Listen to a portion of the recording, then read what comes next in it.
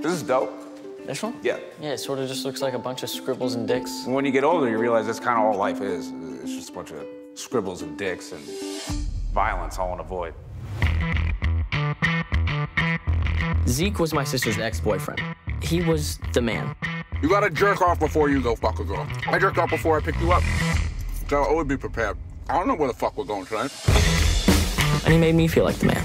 Fuck yeah, Mo. Got a home run. Who's gonna drink it? Hold on, what's in that? Whiskey, beer, cough syrup, and Zanny bar. Oh, damn. Oh. That's my dude. You meet some punk and you have no idea at the time that he's going to be parked in front of your house every day for the rest of your goddamn life. You're high school. You should be making friends your own age. I like hanging out with you. This weekend, Paul's house. It's so on. You should sell my pot at your party. You think I'm just gonna walk into a party and everyone's gonna wanna buy pot for me? Call me crazy.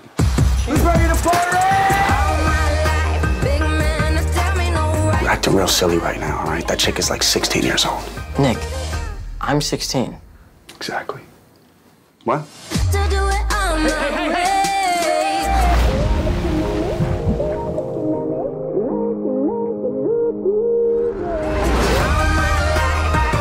Kids are supposed to make mistakes. That's what the whole point of being a kid is. Yo, I think it's time. What the? You permanently inked Tongue Daddy to your skin. What does that even mean? Oh my god.